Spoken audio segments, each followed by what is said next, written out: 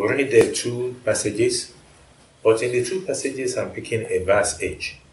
From the one we read in Mark 16, I want to concentrate on verse 17. And from what we read in uh, Psalm 23, I want to concentrate on verse 6. Mark 16, 17 says, And these signs will follow those who believe. In my name they will cast out demons, they will speak with new tongues. And it went on and on and on with uh, the things they're going to do because signs are following them. In Psalm 23, verse 6, it says, Surely goodness and mercy shall follow me all the days of my life, and I will dwell in the house of the Lord forever. The only thing common to the two verses is the word follow. Signs follow.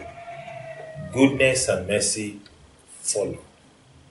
And so, if signs follow, they, they, they, it does not rest on the signs. It rests on the person that the signs are following. They follow. Follow means they wait. They follow as we move. So, goodness and mercy too follow. All the days of the life, they follow as we follow instructions. And so we were somewhere and people were crying about uh, the fact that uh, we don't see signs and wonders. And if you also go on every mountain, you see people gathering together to pray. They are not having enough of goodness and mercy. They pray for goodness, they pray for mercy, the church is crying out for signs and wonders. Where we have a little bit of sign and wonder, we, we, we celebrate it and over hyperbolize it. Eh, when some people have a bit of goodness and mercy, we celebrate them as if they are special. But these things that we have mentioned, signs, which the church wants, goodness and mercy, which individual wants, they all follow. And that is calling for a matter that we should look at succinctly. They follow. If we're going to do it dramatically, if I stand and I ask you to stand behind me and ask you to follow, your ability to move depends on something. I move. If I don't move, the person following me is stuck. If I stay and I do not enter, they follow me. If I enter into a place goodness and mercy follows me there. If I enter into another place for crusade, signs and wonders follow me. I determine where there are going to be signs and wonder. I determine where there are going to be goodness and mercy. So let's look at it, signs and wonder twins, signs and wonders. Twin signs and wonder follow those who preach the gospel. They follow and signs, goodness, and mercy, they follow people who follow instruction. So, friends, all I want to share today is basically that these things follow. Maybe the reason the church is not seeing signs and wonders is because we are stuck. And while we decry the lack of signs, signs and wonders in church, let us cry for the signs and wonders that are wasting, for they are waiting. Signs and wonders are waiting on instructions for you to move. Now, I have been around the bit, and let's talk about signs and wonders first. I've been around the bit, I've traveled a bit, and I can say with all authority that I've not seen as much signs in the church, within the walls of the church, as I've seen on the field. I love to tell people about what happened to me somewhere in Sapele. That was astounding.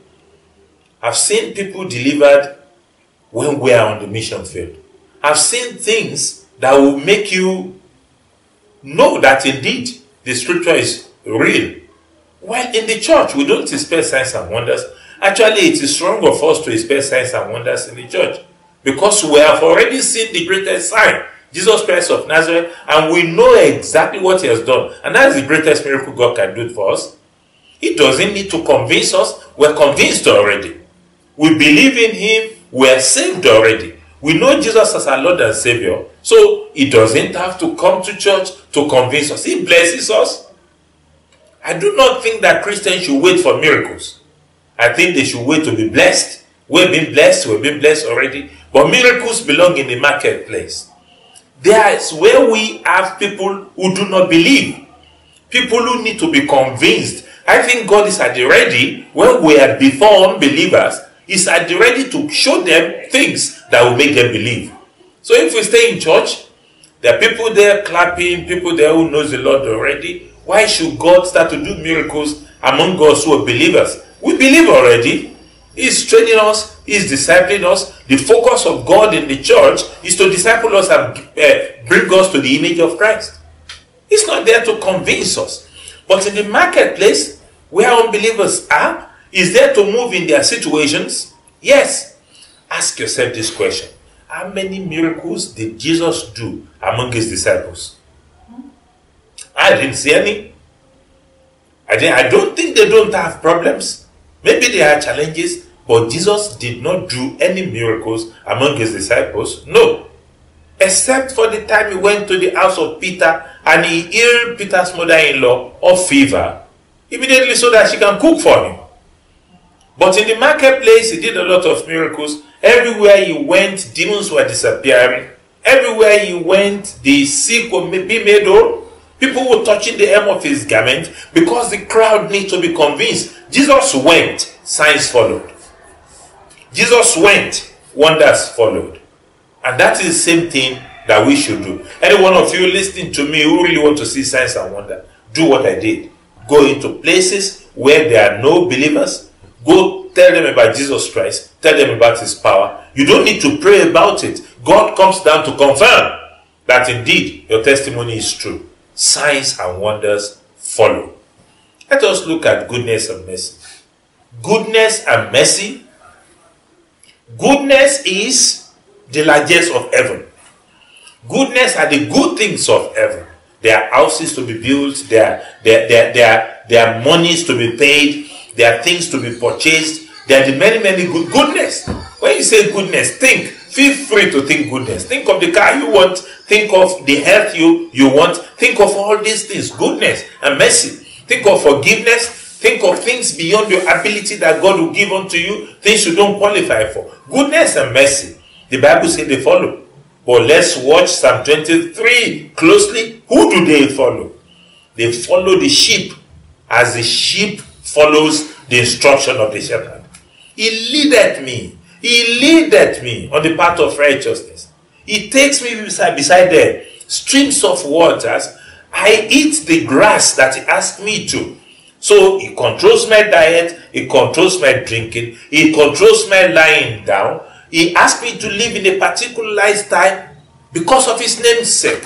Now, it's when I do that, that obedient person, going into the will of God, following the instructions of God in perfect obedience, that guy is followed by goodness and mercy. So the disobedient can go to mountains and shout, send goodness, send mercy. God is going to say, they're there with you. Goodness and mercy are there with you, waiting for you to go into my will and they will follow. God is not going to send goodness and mercy. He did. Jesus Christ of Nazareth came, He died for your sin and mine. And I say to people, and I believe it is true, that uh, there's nothing you want that will cause God to go into His laboratory again. Six days, He walked all of what you will ever need. On the seventh day, the Bible says He went into His rest. He's not coming out of His rest for your sake, he's in his rest. And in that rest, he will stay permanently until we enter into his rest. We will join God in his rest. Our calamities will not take him out of his rest because he has done everything he has to do. All prepared. Goodness is there, mercy is there, and they are following you. If you've been listening to me, you will know that you are the reason, therefore, that maybe goodness is not performing or it's not showing forth or mercy is not showing like it should, perhaps it's because you are not moving. So if you want to give a title to my discussion with you today, I'll say move. Move. Don't be static, don't be stuck. Move into ministry. Talk to non-believers. Move. When you move, then goodness and mercy, uh, signs and wonders will follow you. Go into the will of God. Don't be afraid of it. Follow instructions. Live like the Bible says you should live And waiting behind you is goodness and mercy. When you begin to follow instructions, when you begin to say no to your peculiar brand of sin, when you start to walk by the streams that the Lord indicates, when you start to eat from the grass where He leadeth you, when you start to lie down in the pastures where He has established you, then you will know that goodness and mercy are like servants. And I say this with all authority. They are like servants that wait upon you, goodness and mercy, willing to follow you into the will of the Father. Not for once, not for twice, for all the days of your life. Provided at all the days of your life you choose to do His will. Goodness and mercy shall follow you all the days of your life, and then you will dwell in the house of the Lord, established in green pastures forever and ever. Amen. So the idea is, friends, let's move. Let's move. Let the church move into ministry. Then we'll start to see signs and wonders. I had some young ones crying, We don't see our signs. We heard of what God did in times past. Don't wait on the testimony of the old.